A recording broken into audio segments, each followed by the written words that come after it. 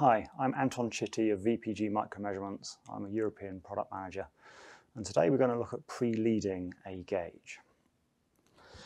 So I've got a standard strain gauge here which is one of our CEA series gauges and you can see here it's our CEA 13 250 UWA 350 a very common gauge that you'll find um, all over the world. Uh, we use it extensively on our workshop program as well. So I've taken one of the gauges from this pack and you can see that just here. I've got the tools available to me, so I have a clean pair of tweezers. I've got some materials for cleanup, both cotton buds and gauzes. I've got some drafting tape to restrict solder flow. I have my solder, 361A20R. I have a bottle of rosin solvent for cleaning up the solder flux residue. And I've got my neutralizer 5A for cleaning up the back of the gauge to make sure it's completely clean. So all we need to do is to take our gauge and remove it from the acetate using our clean tweezers and I'm going to place it onto a pre-cleaned aluminium plate. And then I'm going to use my drafting tape to mask off approximately half of the solder terminal. So there we have about half being showed there.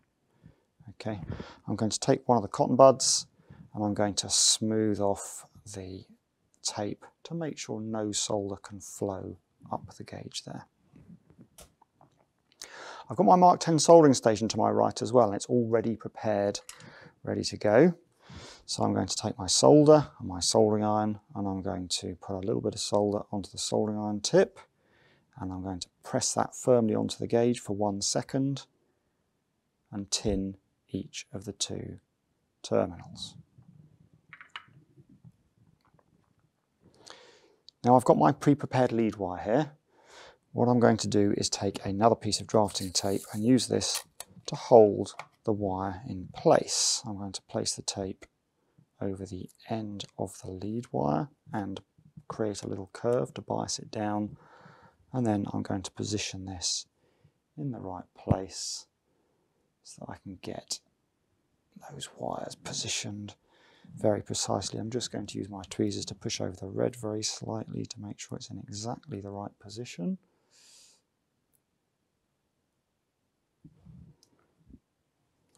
And then once again, I'm going to go in with my soldering iron, a little bit of solder on the soldering iron, and using one second again, I'm going to reflow each of those two solder joints to capture the wire in there.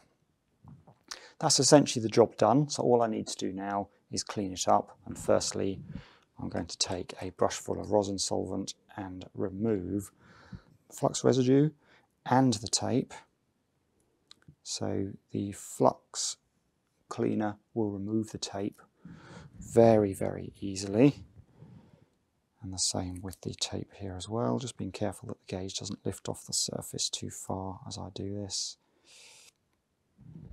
And once that's done, I can then take another brush full of rosin solvent and give the gauge a really thorough clean, making sure to get the brush in and amongst the solder joints there and around the lead wire. Really thorough, thorough clean. And once I've done that, of course, this is a very volatile product, so I need to blot dry. So I take a clean gauze and carefully blot the gauge dry and then I'm going to turn it over and blot the back of the gauge as well so there's no rosin solvents there at all.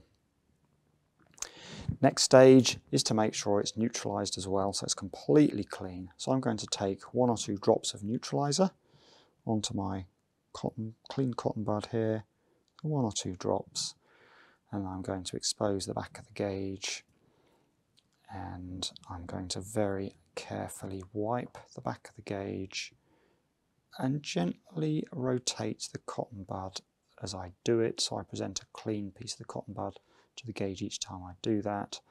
That goes straight in the bin and then another clean dry cotton bud this time just to make sure that's completely dry. So you can see there, there's absolutely no damage from the solder heat and that the solder pads are all nicely cleaned up and ready to bond onto my structure if I need to.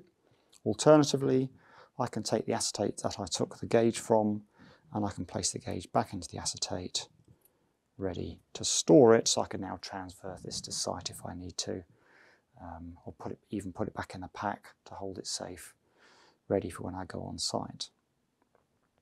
The beauty of doing this kind of pre-leading is that you can customize the lead wire. I've used 330 DFV in this case, but you can use Teflon lead wire or solid copper wire if you have a specific requirement. So for higher temperatures or more convenient applications, you can customize this pre-leading. And it's very quick and easy to do under a nice workbench with decent lighting. That can really help.